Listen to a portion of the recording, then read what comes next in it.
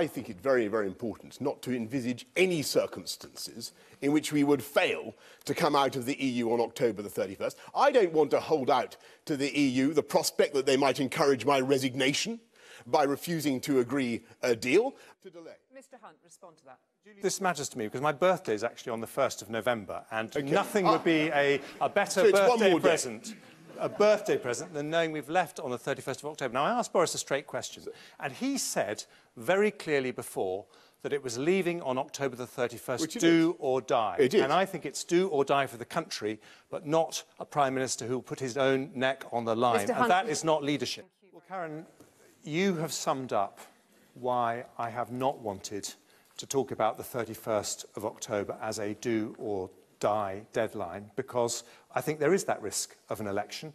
And because Parliament has taken no deal off the table already, uh, if you were to say that you are going to guarantee a date, you have to be prepared to take us into a general election because you might need to change Parliament if you can't get the majority for that no deal Brexit. Well, I think when that's happened in the past, when Parliament's been shut down against its will, we've actually had a civil war.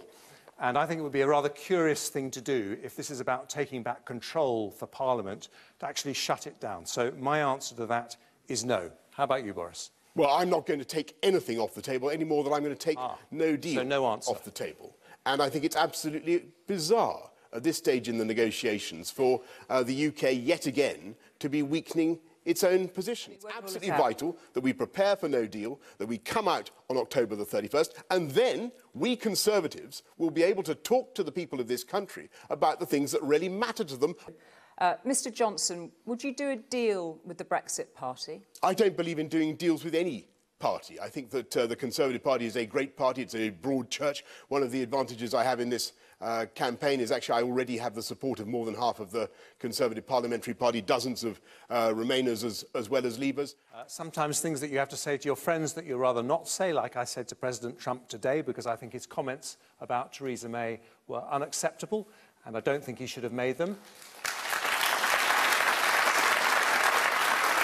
He was dragged into a, a British political debate in which, in a way, he sometimes is. I don't think that's necessarily the right thing for him to do, as Jeremy has said. But on Kim Darroch and on uh, British civil servants, I, I would just say this. I think it is absolutely vital that uh, the advice that civil servants give to ministers should not be leaked by ministers and should not be commented on by ministers if civil servants are going to feel free to give that advice Okay. with the impartiality uh, that they want. And the relationship between the UK and the USA is the most important alliance in history. On that, I agree with President Trump. But who chooses our ambassadors is a matter for the United Kingdom government and the United Kingdom Prime Minister. So I have made it clear that if I am our next Prime Minister, the ambassador in Washington stays because it's our Thank you. decision. If I am our next It is vital that our, our civil service is not politicised by, uh, by ministers leaking what they say. Uh, Will he still be in his job come whoever, January? whoever leaked that deserves to be eviscerated. Um, I, I value, I, I greatly admire his ability to, uh, to change his mind on, and, and, and, campaign uh, for, for Brexit now. And I think that's a very important uh, attribute. Well, I, I, uh, I really admire Boris's ability to answer the question. Uh, he has this, uh, he has this great ability. You ask him a question, he puts a smile on your face, and you forget what the question was. It's a brilliant quality for a politician. Maybe not a prime minister, though.